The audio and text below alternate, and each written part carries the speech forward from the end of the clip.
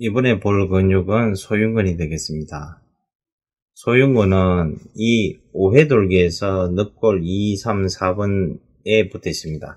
실제로 기시가 견갑골 앞쪽에 붙어 있기 때문에 소흉근이 수축을 하게 되면 견갑골을 잡아 당긴다고 이렇게 책에는 설명이 되어 있는데요.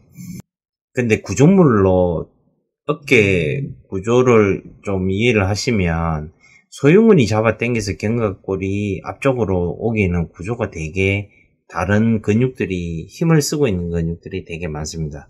왜냐하면 안쪽에 견갑하근과 상완골 그리고 늑골과 어, 견갑골을 붙여주는 정거근 뭐 뒤쪽 근육부터 해가지고 되게 복잡다단한 근육들이 되게 많은데요. 이 예, 소흉근이 잡아 당겨서 어, 견갑골이 앞쪽으로 이동하지는 않습니다.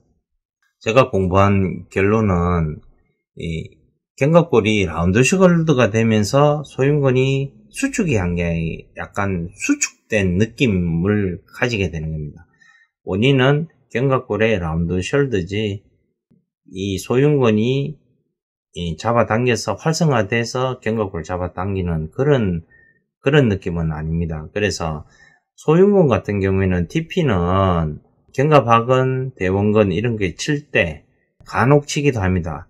왜냐하면 이 견갑골 50견 환자 중에 이 앞쪽으로 통증을 많이 느끼는 분들 같은 경우에는 견갑학은 대원근 TP를 칠 때 이 소흉근을 같이 쳐주면 통증이 앞쪽 가운데 뒤쪽 있잖아요. 이런 부분에 있어서 통증이 약간 경감이 되기 때문에 TP로는 소흉근을 간혹 쓰기도 합니다. 이 TP로 소흉근을 쓰는 경우에는 50견 환자의 경우에만 주로 사용하게 됩니다.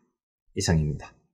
그리고 소흉근은 이 오해독이 앞쪽에 붙어 있기 때문에 층을 이렇게 대흉근 잡아놓고 나서 잡고 나서 속에 이렇게 있습니다. 그래서 조금 깊게 해서 DP가 뚫려 있는데 이렇게